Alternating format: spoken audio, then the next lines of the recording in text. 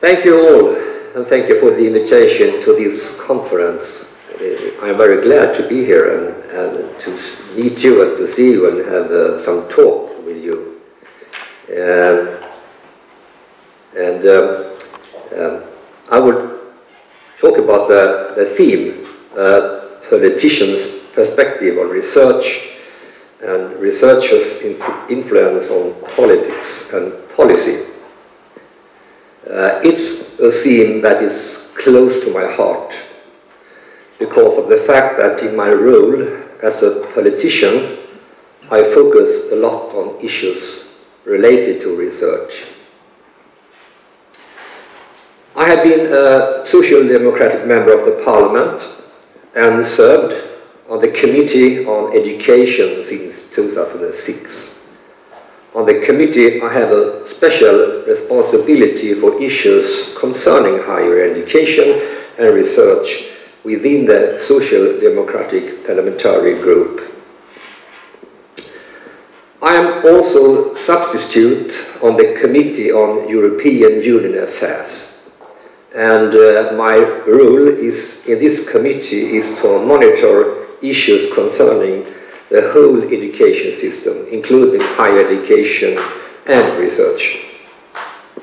To uh, add a little more background information regarding my duties as an MP, and uh, which is uh, relevant to what I'm going to say to you this morning, I am Vice Chairperson of Riksbankens Jubileumsfond, an independent foundation with the goal of promoting and supporting research in hum humanities and social sciences.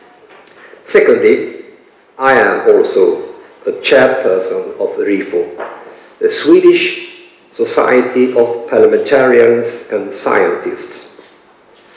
RIFO's task is to bring together MPs and researchers in one important venue one of RIFO's most important tasks is to identify at an early stage issues that, due to scientific and technical developments, have great significance in the work of the Parliament.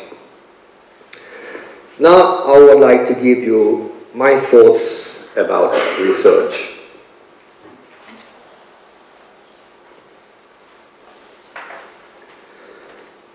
I will uh, start with an obvious statement. We need to increase investments in research and innovation. This is not a controversial statement. All the different political parties in the Swedish parliament agree that Sweden should be a leading knowledge and research nation. And this is not particularly unique for Sweden.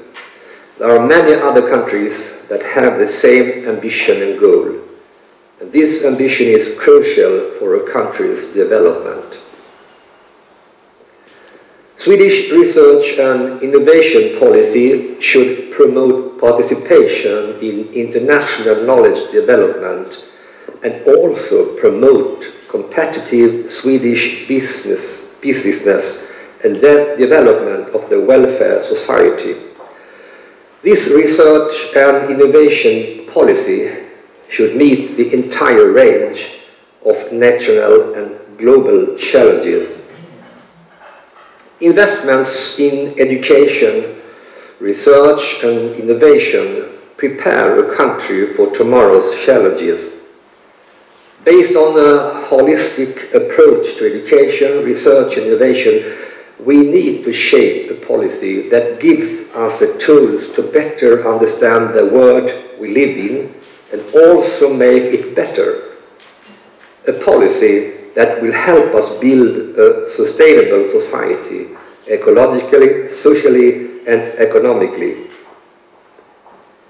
Research provides new knowledge and new insights which give us a deeper understanding of ourselves and the world we live in. It increases our understanding of and interaction between people. It, it gives every individual the opportunity for personal development and self-empowerment in order to realize life goals. Research is also a tool for free thought and a critical voice.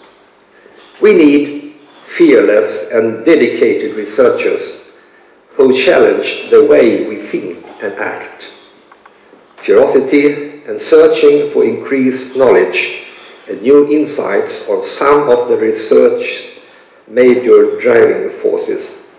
Therefore, every democratic society needs to safeguard independent researchers who analyze, question, and actively participate in public debate.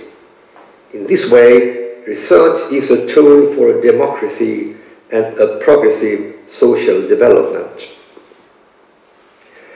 It is important to invest in prominent research of good quality. Therefore, it is important to have free and independent research that increases our knowledge. Both curiosity-driven basic research and commercially focused applied research constantly move scientific positions forward and provide knowledge for change. Research concerns the whole society, not just those who conduct it. All our future will rely on increased education, research and innovation. Sometimes we face a contradiction between free basic research and applied research, or in other words, a tension between curiosity-driven research and challenge-driven research. This contradiction is not productive.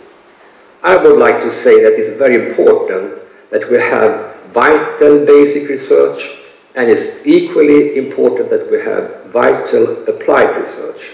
In fact, there is no contradiction between basic research and applied research. We need both methods. Because of that, we need to speak more often about the concept relevance when we discuss how we should support research. I am fully aware that we need to safeguard the free basic research. Research that is open and you have no idea of what this research will lead to. At the same time, we need to talk more about how research should, could be made more relevant for society and including business. Therefore, I want to stress the importance of increased research collaboration between academy, industry, and the public sector. We, therefore need research policy that strengthens the business community. We need research that creates more companies and new green jobs. Globalization, combined with the sustainable development and demographic challenges is creating new opportunities for companies. Investments in higher education and research will give us skilled and creative people with very specialized knowledge. This will enhance skills at work and in society. By strengthening research and innovation, we will also develop new products and processes. This in turn leads to increased tax revenues and thus a better economy that allow us to have good quality schools and healthcare. Our prosperity is based on what academic, academy, industry, and the public sector in collaboration are capable of for the benefit of the entire community. It is crucial for a country to maintain, strengthen, and strengthen its competitiveness. An investment in education, research, and innovation is, in other words, a very good welfare policy.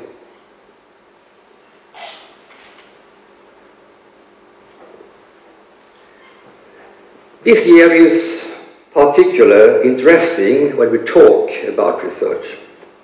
Soon, the Swedish government will present a new research policy bill that will announce the government's research policy until 2026, with a particular focus on investment from 2017 to 2020. The Prime Minister, Stefan Löfven, first government statement included some important points in the forthcoming research bill. In this government statement, the Prime Minister said that Sweden will be a leading research nation. Young researchers' conditions will be improved. A new research bill will have a 10-year perspective. The proportion of female professors will increase and that research grants should be distributed equally. And the basic grants for research should be prioritized. I will come back to this research policy a little bit later.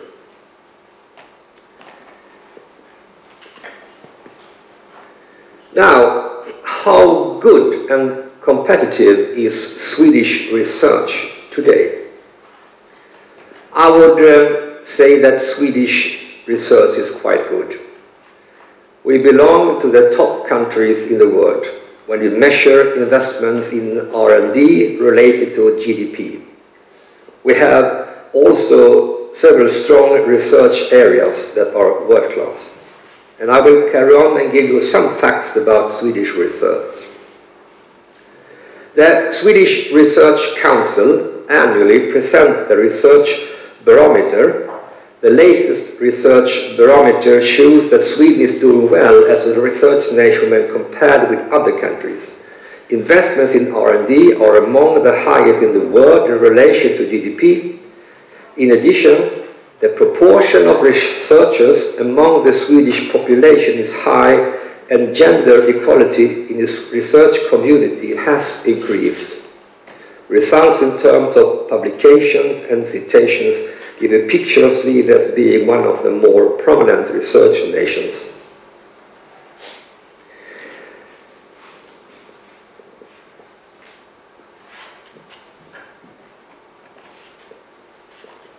However, the research barometer also states that Sweden has some problems.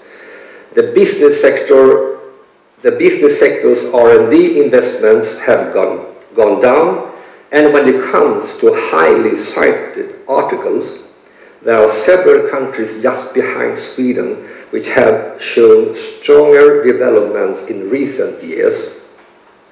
If we make an international comparison, Sweden has, in contrast to several other countries, reduced its spending on R&D in relation to GDP during the last decade.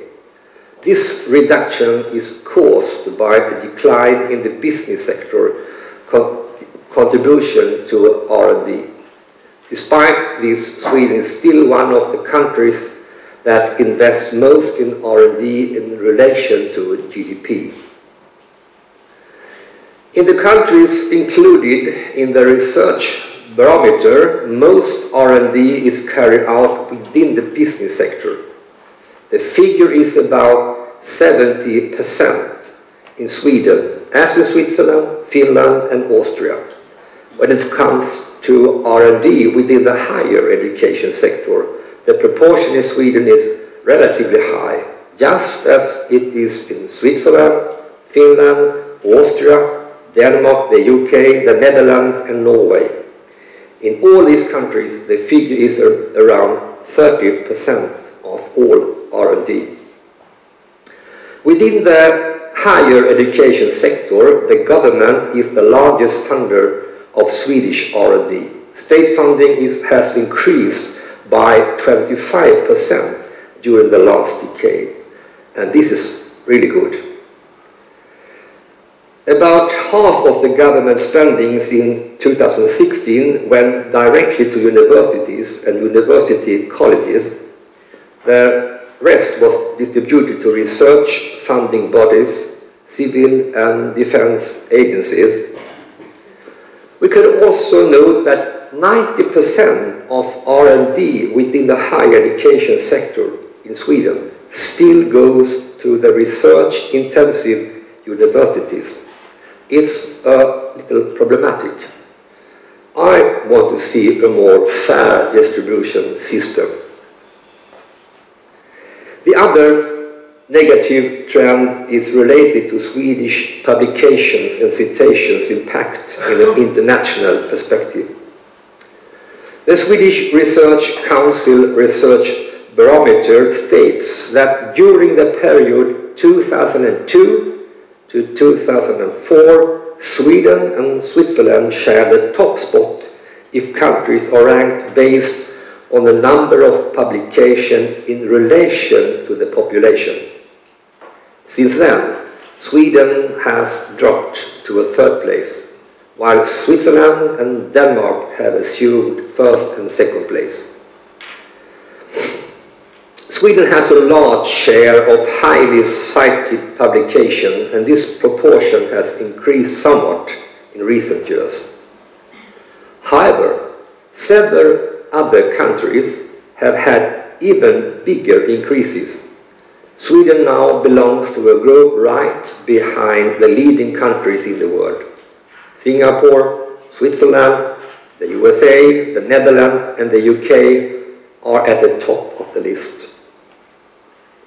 In another report from 2010, the Swedish Research Council showed that Sweden's production of breakthrough research had fallen below that of Denmark, the Netherlands, and Switzerland.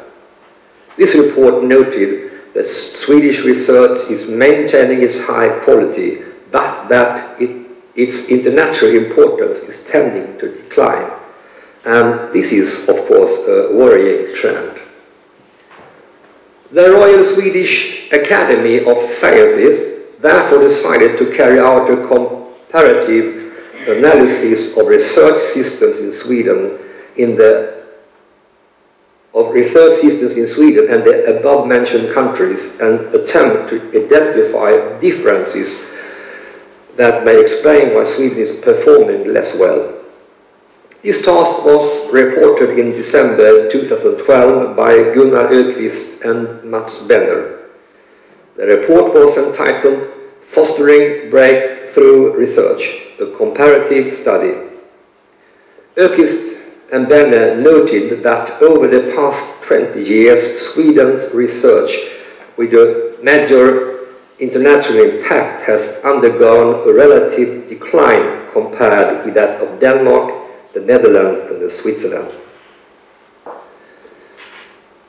Eventually, in the latest annual report from European Commission's Research Centre about research and innovation in Sweden, we notice that Sweden takes the top spot in the 2012 Research Excellence Composite Indicator ahead of Denmark and the Netherlands.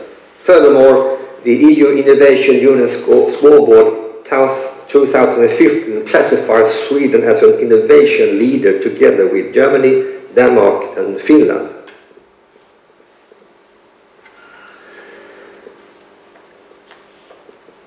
Let me conclude. This briefly general review shows that research in Sweden both has its strengths and weaknesses it is vital to stress the importance of high quality regarding research. Secondly, it is important to strengthen the co cooperation between academy and business sector and the public sector as well.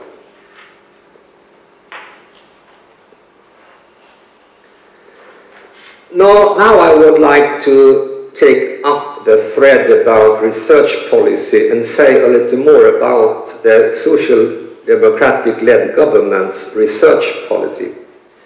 During uh, our years in opposition in the parliament, these perspectives have been developed. The government has, since more than a year back, been in the process to define the research policy for the coming decade. The aim has been to reverse the, these negative trends I mentioned before, with the goal that Sweden will be a top nation regarding research. The quality of research must be given priority. Furthermore, it is only with high quality research and highly quality staff that we can compete to attract more scientists to build the research base in our country and to be a preferred location for global high-tech companies. In this processing work, the government has asked researchers, research funding organizations, universities, university colleges and society at large for advice. Since November, the government has discussed their new research policy with help from all different inputs. This new research policy will be fully presented within two months, but already in the upcoming financial bill within three weeks, some of the content will be publicly known. As I mentioned earlier in my speech, there are a few priorities that the Swedish government has identified for the new research policy, and I want to mention some of them. Firstly, research needs to be viewed as a long-term activity. That is why the next research bill will include a 10-year perspective. It will make it possible for the research community and universities to act more strategically. Secondly, basic funding to universities and university colleges will have priority. The fraction of institutional funds needs to increase. It's important for the ability to invest in new projects which though, though the outcome might be uncertain, have the potential of giving rise to breakthrough scientific discoveries. Thirdly, working conditions and recruitment of young scientists must be improved in order to make sure the best young talents choose to stay in science. Now young scientists can go for years years on short-term employment, not knowing if they will be able to get tenured. This, this discourages many of the best talents, and that must change. This is almost for this is also important for global collaboration and mobility. In this matter, the government is looking into a system with tenure track and tenured positions as a possible model, model to build upon. Fourthly, the government has gender equality issues high on the agenda. For Sweden to be a prominent research nation, academy needs to be more gender equal as this enables both men and women to realize their full potential. It is, for example, important to increase the number of female professors. Since 1999, the num number of female professors has increased from 12 to 25%. Good, but not good enough. Therefore, the government will work for an increase in the number of female professors. I think that our general system for awarding research grants is fair. Our problem lies probably is in that we have for a long time concentrated our efforts on awarding large grants for centers of excellence, where researchers and universities compete on who should get them. This has had the effect that universities have formed winning teams to increase their possibilities to be awarded the funds. Winning teams have then often been senior researchers known to be success successful. This discriminates against both female and junior male scientists who are given fewer possibilities to build their own areas. Younger scientists have in that process been held back. If this is the case, I think that we have failed in promoting both young researchers and female scientists. Also, our research funds must be awarded in an equal way. We have prided ourselves that we have come far with equality. Our research councils have equal success rate for men and for women. Our main research council, the Swedish Research Council, has gender certification to ensure that applications from men and women are handled equally. It all looks fine in statistics, but then we saw the outcome of applications to the European Research Council, where Sweden comes out in the lower end of the scale, with only 10% of the successful applicants being female. So more needs, more needs to be done. Fifthly, we also have some crucial global and national challenges. On the one hand, we are together in the European Union discussion how to meet these challenges. In this respect, I'm thinking of the big research program Horizon 2020. On the other hand, we have to address some of the, these big challenges in the upcoming research bill. There is no public secret that the Minister of Higher Education Research has mentioned issues like life science, the climate threat, and digitalization. I will eventually mention that the connection between research and higher education also needs to be strengthened. It is important to raise the quality of education to inspire the next generation of top researchers. Today we have an imbalance between higher education and research. The grant to research has increased considerably during the last decade, while the funding of the higher education has been stagnant. The government has taken one step to closing this gap in the last, latest financial bill by increasing grants to higher quality in humanities and social sciences.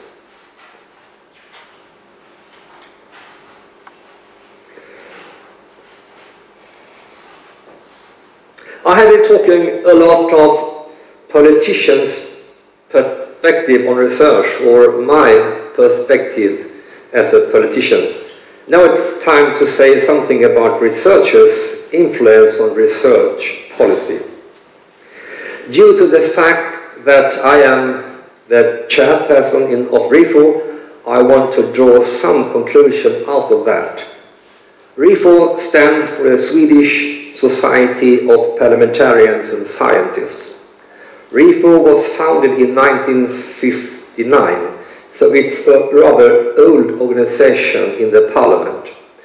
RIFO's task is to be an important meeting place or venue for researchers and MPs. RIFO, have, RIFO has some important purposes. I will mention three of them. Firstly, to better inform MPs on future issues of importance emanating from science and thus increase knowledge and insights in ambition to give better conditions for evidence-based political decisions. Secondly, getting scientists to better understand how political decision-making are functioning and how these decisions may affect the researcher's activities. And thirdly, bring together scientists from domains otherwise rarely intersecting. RIFO cooperates with some important organizations such as the Royal Swedish Academy of Engineering Sciences, the Royal Swedish Academy of Sciences, the Royal Swedish Academy of Agriculture and Forestry, Forestry and Young Academy of Sweden. And this cooperation is very important and is an example of how researchers can influence politicians. I especially want to mention one activity RIFO organizes together with the Young Academy of Sweden. We have a program in which a researcher and an MP meets for three to four days in order to better get to know each other's mission. This is unique internationally. It increases understanding and enables researchers to influence a politician. Eventually, I will stress RIFO's important role in the Swedish parliament. The board of RIFO has the ambition to develop RIFO's role and function. RIFO could be a significant catalyst or engine with the task to strengthen the connection between research and parliament. We parliamentarians need more deeper knowledge and new insights that help us to take better decisions. I'm also saying this because it shows that you as a researcher has rich opportunities to get in touch and influence us as politicians. It is not necessary to do this through RIFO. You shouldn't be afraid to contact an MP. We are not dangerous at all. We want to get in touch with people and organizations. It doesn't matter to who you contact. We all would listen to you and help you to get in touch with the MP who has the responsibility for a particular issue. I will also add that the process to formulate a new research bill shows your possibility as a researcher to affect politicians. There were approximately 250 opinions or comments directed to the Department of Education the last autumn. Everyone was the conclusion of many researchers' discussions. So you have great opportunity to influence the politics. In fact, this meeting today is such an opportunity. Thank you for your attention.